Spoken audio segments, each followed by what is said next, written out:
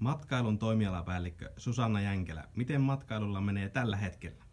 Matkailulla menee tällä hetkellä aivan hyvin. 2017 oli meidän iso kasvuvuosi, mutta myös alkuvuosi 2018 näyttää ihan hyvältä.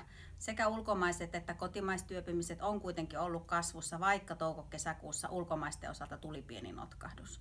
Mutta sinällään se kasvuhan ei ole itseisarvo, vaan meidän pitää miettiä, että miten se kasvu tehdään kestävästi ja hallitusti.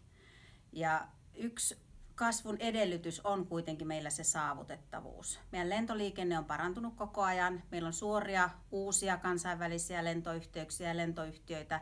Ja meidän kansallinen Finnair on lisännyt sekä kotimaan kentillä että sitten kotimaasta Suomesta eri matkailukohteisiin lentoja merkittävästi. Raideliikenne raportoinut henkilömäärien kasvuja, samoin laivaliikenne matkustajamäärät on kasvussa.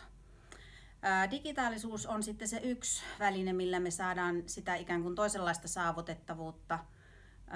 Meidän matkailuyritysten haaste tällä hetkellä on se, että me ollaan ihan samassa kilpailussa kansainvälisten kohteiden kanssa, samalla viivalla, samassa tarjonnassa.